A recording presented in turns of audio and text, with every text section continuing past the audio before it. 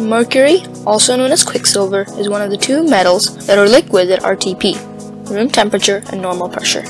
Bromine is the other one. The metal mercury is a liquid? Sounds bizarre, but why is it so? And what gives it these distinguishing characteristics? Know it now.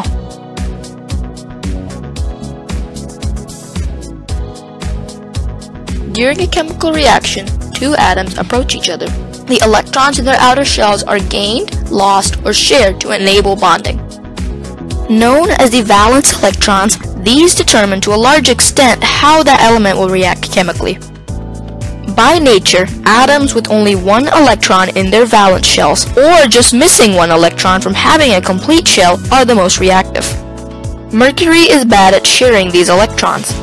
It has two valence electrons, both of which sit in the atom's outermost 6s shell.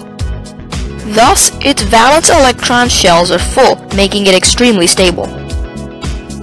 In addition to this, the binding energy of outer electrons towards the nucleus is highest. Therefore, no electron is available to participate in metallic bond formation. But how is this responsible for its liquid state?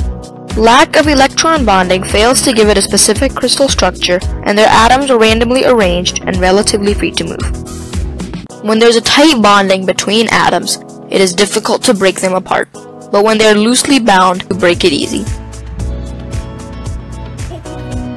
Therefore, it takes very little heat to break this weak binding between mercury atoms.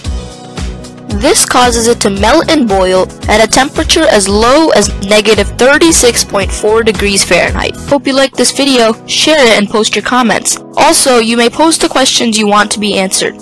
For more science videos, subscribe to Inspired by Science YouTube channel. See you soon with another interesting concept. Goodbye.